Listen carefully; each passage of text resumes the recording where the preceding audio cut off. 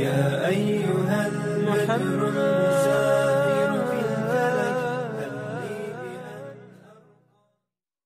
പ്രിയതമന് ഒരു ഭാര്യയുടെ പരിഭവമൊഴികൾ ഷെയ്ഖ് സുൽത്താനുബിന് അബ്ദുള്ള അൽ അംബ്രിയുടെ ഇലേക്കയ സൗജി എന്ന വിശ്രുത രചനയ്ക്ക് നേർമൊഴി സമർപ്പിക്കുന്ന ശബ്ദാവിഷ്കാരം അധ്യായം ഒന്ന് സൗഭാഗ്യവതി അന്ന് കയ്യിൽ കിട്ടിയ ഒരു പുസ്തകം വായിക്കവെയാണ് ആ ചോദ്യം എന്റെ ശ്രദ്ധയെ പിടിച്ചു നിർത്തിയത് ജീവിതത്തിൽ നീ സൗഭാഗ്യവതിയാണോ ഞാൻ അത്ഭുതപ്പെട്ടുപോയി.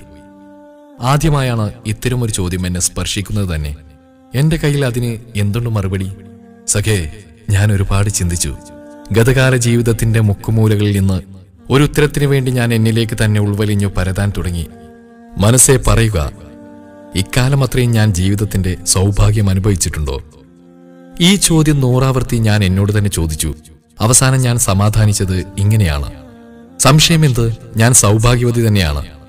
നല്ലൊരു ഉദ്യോഗം നല്ലൊരു വീട് അഹങ്കരിക്കാവുന്ന സൗന്ദര്യം. സമൂഹത്തിൽ ആദരിക്കപ്പെടുന്ന ഒരു ഭർത്താവിന്റെ സാമീപ്യം കരളിന്റെ കഷ്ണങ്ങളായ ആറു മക്കളുടെ മാതാവ്. മിക്കപ്പോഴും സമ്മാനപ്പൊതികളുമായി വന്നു കാണുന്ന ആറുപേരും നല്ല നിലയിൽ. ഏതു നിലക്കും കൺകുളിർമ മാത്രം. അതെ ഞാൻ ജീവിതത്തിന്റെ സൗഭാഗ്യം ആവോളം അനുഭവിക്കുന്നു.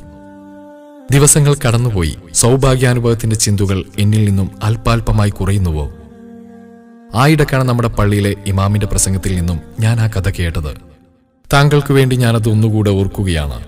ഒരിക്കൽ ഇമാം അഹമ്മദ് അലി അള്ളാഹു അൻഹുവിന്റെ അടുക്കൽ വന്നുകൊണ്ട് ഒരാൾ ചോദിച്ചു അത്രേ ബഹുമാന്യരെ ഒരു മനുഷ്യൻ യഥാർത്ഥ സൗഭാഗ്യത്തിന്റെ സംതൃപ്തി അനുഭവിക്കുന്നത് എപ്പോഴാണ്?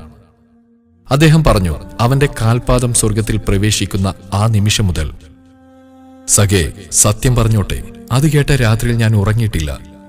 അവന്റെ കാൽപാദം സ്വർഗത്തിൽ പ്രവേശിക്കുന്ന ആ നിമിഷം മുതൽ എന്ന വാചകം എന്റെ ഹൃദയത്തിൽ അലയടിച്ചു കൊണ്ടിരിക്കെ എനിക്കെങ്ങനെ ഉറങ്ങാനാവും? ഒരിക്കൽ കൂടി ഞാൻ എന്നിലേക്ക് തന്നെ തിരിച്ചു. കണ്ണാടിക്ക് മുന്നിൽ നിന്നുകൊണ്ട് ഞാൻ പലവരും എന്റെ മനസ്സിനോട് ചോദിച്ചു സത്യം പറയൂ സൗഭാഗ്യത്തിന്റെ അനുഭൂതികൾ യഥാർത്ഥത്തിൽ നീ അനുഭവിക്കുന്നുണ്ടോ? മറുപടി ഇല്ലായിരുന്നു. ഞാൻ ഉടുത്തുമാറ്റുന്ന വിലപിടിപ്പുള്ള വസ്ത്രങ്ങൾ എത്രയാണ്? ഞാൻ ഉപയോഗിച്ചുകൊണ്ടിരിക്കുന്ന അത്യാധുനിക ഗൃഹോപകരണങ്ങൾ എന്തൊക്കെയാണ്?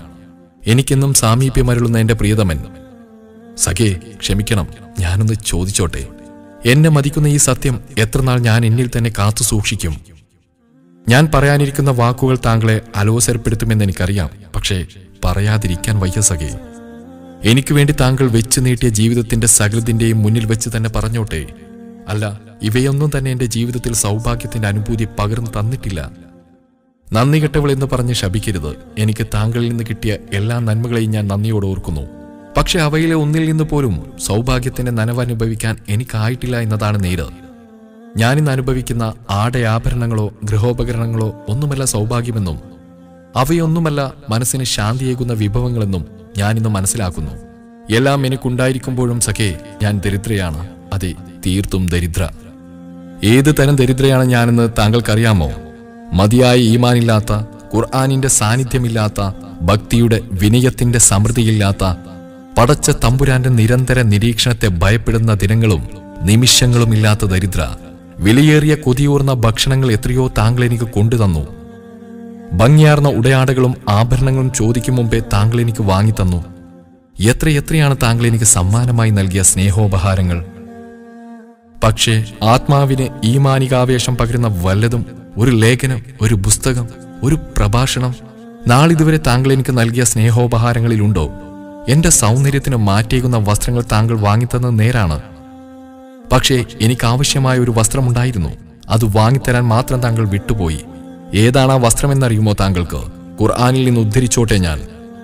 ധർമ്മനിഷ്ഠയാവുന്ന വസ്ത്രമാവട്ടെ അതാണ് കൂടുതൽ ഉത്തമം.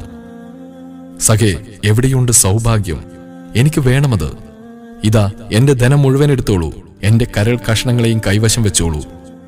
എന്റെ പേരിലുള്ള മുഴുവൻ ആസ്തികളും താങ്കൾ അനുഭവിച്ചോളൂ. സഖേ എനിക്ക് ഈമാനിന്റെ മാധുര്യവും ഹിതായത്തിന്റെ അനുഭൂതിയും അനുഭവിച്ചേ പറ്റൂ. പടച്ചവന്റെ കൈകളിലേക്ക് പശ്ചാത്തപിച്ച് മടങ്ങിയ ഏതൊരു പെണ്ണും ആവോളം അനുഭവിക്കുന്ന മധുരവും അനുഭൂതിയും.